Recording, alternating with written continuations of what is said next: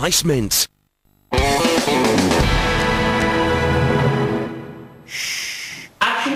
Yeah, great. Summer Strallen's been leading a double life. In Hollyoaks, she plays theatrical wannabe Summer Shaw, and in real life, she's landed the role of Maria in The Sound of Music. But she and key cast members have been sworn to secrecy, and not even members of her own family know.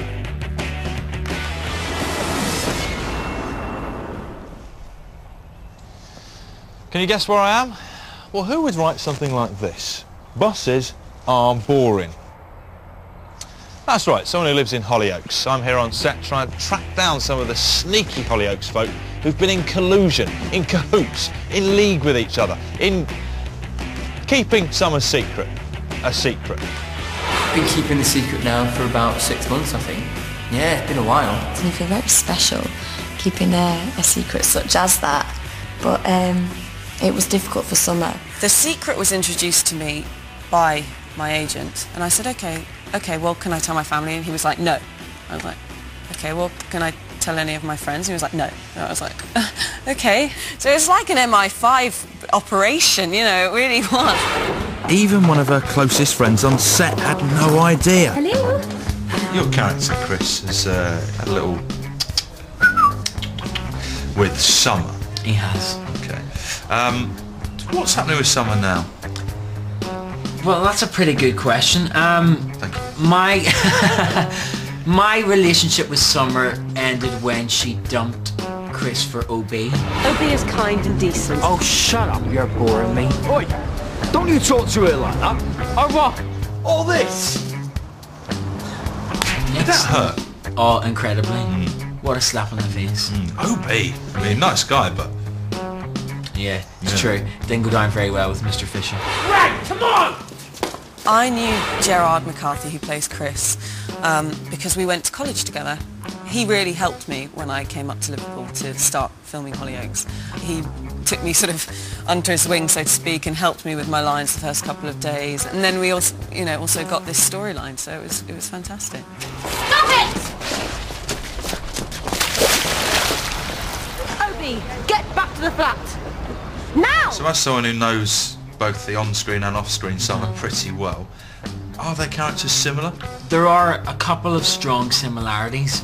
The real life Summer is much more feet on the ground and not as dreamy and, and away with the birds as the pretend Summer is. The on-screen summer is definitely not like the off-screen summer. Um, when I was about 16, 17, I think I had an element of her joy and her um, excitement um, of, of being in the theatre. This is all I've ever wanted, Chris. What I've dreamed of. Being on the stage, the adrenaline rushing through my veins, the spotlight on me, all eyes on me, with the audience hanging on my every word. She came in to Hollyoaks um, to join the Hollyoaks Community College as a performing arts student. And then a step to the right. She does finally crack and sort of says, right, I have to get out of here to, to, to pursue my dream because if I don't, it's going to be too late. And it's very supportive of OB when he does come to help her sort of, you know, um, get to where she wants to go.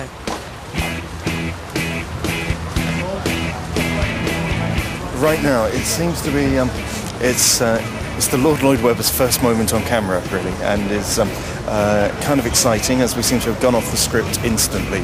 And um, uh, but everybody seems pretty happy. Uh, it's the moment in the episode where where Summer first encounters him and chases after his taxi in order to try and impress him with her singing.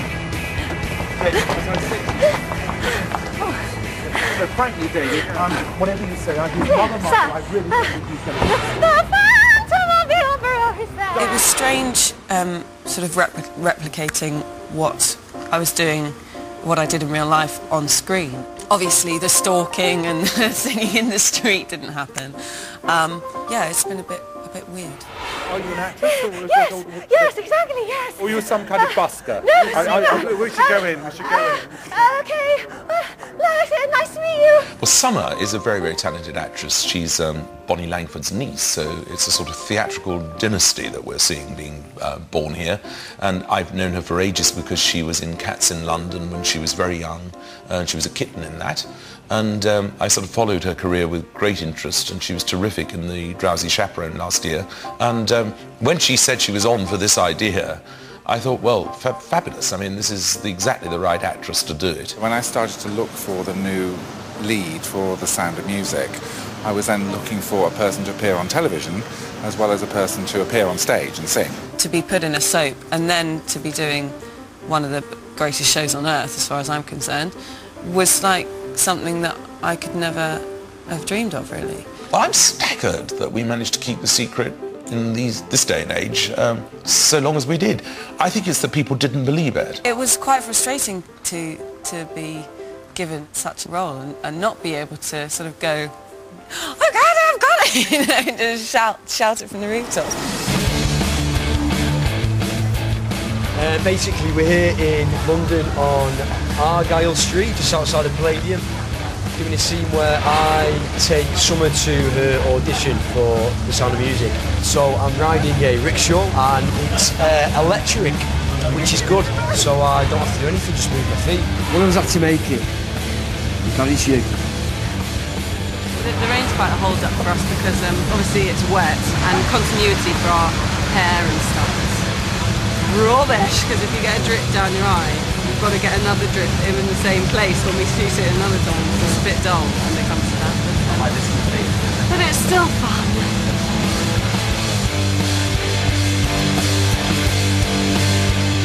We've all been following Summer's stage-struck story. We've all seen her West End antics. The on-screen Summer is trying to jumpstart her career in musical theatre. So I'm dropping in on the real Summer to find out how filming's going and see if that secret is still being kept. So, Summer, given that you've been filming outside the Palladium, are people starting now to get a bit suspicious about what's going on? I think they might be. Uh, I think we might have to let it out sooner or later. Sooner rather than later. You know, obviously people are intrigued at seeing a big camera crew and then seeing, uh, especially Darren, obviously being such a, Yeah. a regular in, in the programme. And then also Andrew Lloyd Webber, it was like, you know, uh, it's going to get out. What have been the most memorable scenes you've done? Well, one of them was singing The Hills Are Alive in front of Andrew again, but not feeling as nervous this time. Our hills fill my heart with the sound of music. But scene, I have to muck it up, so that was Oh, great. right. So I had an excuse to Yeah. be crap. I mean, rubbish. My heart wants to sing every song it hears. My heart wants to.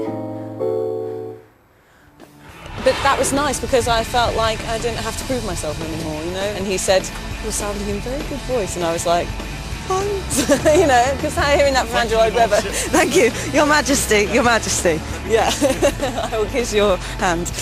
The cast and crew prepare for a night shoot with Lord Lloyd Webber. So here we are outside the stage door. You've got a scene coming up.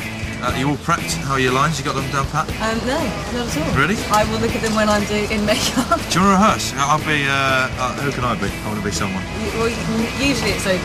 Okay, okay, I'll be, uh, I'll, be, I- I'll be OB. Okay, well, So- um, the scene kind of goes, I come out of the audition, Yeah. I say, oh, he said I was good, he said I was good. Great. Well, keep improvising. Stop Annie Motto, so, oh, Oh, there you go. to makeup. There, there you have go. to get my lip gloss on. You're a busy lady. Do you want your? Uh, No, your you water keep bottle? that. You can Can give it back to me later. Thank you very much. Sorry. Do, re, mi, fa, sol, la, ti, do, so, do. Sorry, uh, we, we must be in the way here. Hey, don't go. Please don't go.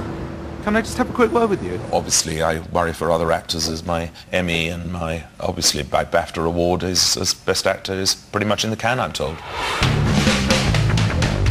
You've uh, you've been at the the epicentre of this whole this whole thing, this, This whole, whole plot crazy line. Yeah, it crazy.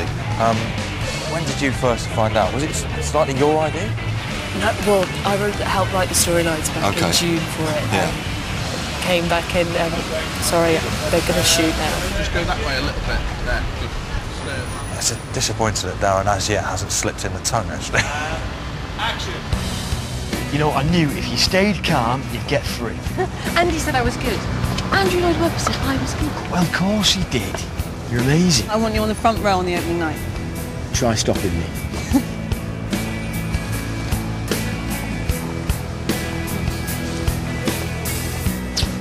Oh, okay, they've done that. They've done some kissing. As we've had snogging. I am quite titillated, I don't mind telling you. Very convincing.